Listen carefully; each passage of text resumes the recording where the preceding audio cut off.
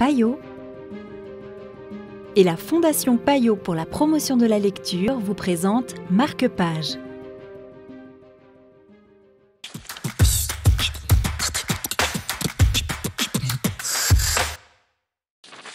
Bonjour et bienvenue dans Marque-Page. Aujourd'hui, nous partons à la découverte du livre Entre toutes les mères de Ashley Audrin aux éditions Lattès. Nous en discutons à Fribourg avec Naomi Hanen de Payot Libraire. La maternité, est-ce que c'est un, choix, une pression sociale euh, ou peut-être quelque chose d'autre ou une force intérieure qu'on ressent? Mais si ça pouvait être tout ça en même temps. Euh, l'histoire de cette femme euh, en fait, c'est un premier roman d'une force implacable. C'est l'histoire de cette femme qui écrit une lettre à son mari, une très très longue lettre.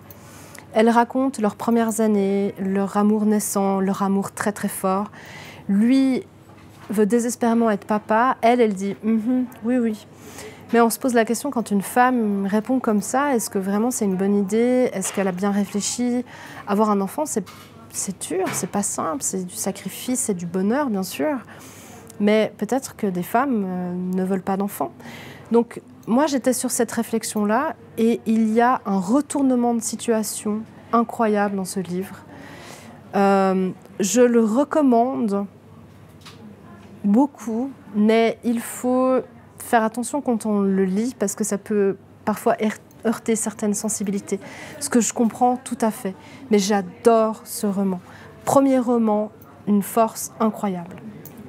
Qui, questionne un tout petit peu le rapport qu'on a à, l'enfant aussi. qui est cet enfant qu'on accueille dans une famille Exactement, un enfant avec son propre caractère, ses envies, ses joies, ses colères, ses tristesses.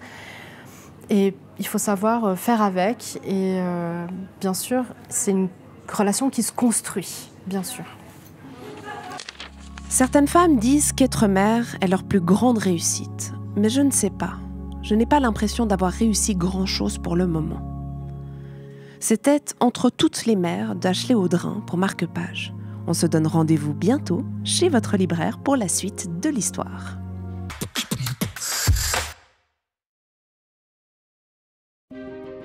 Payot et la Fondation Payot pour la promotion de la lecture vous ont présenté Marque-Page.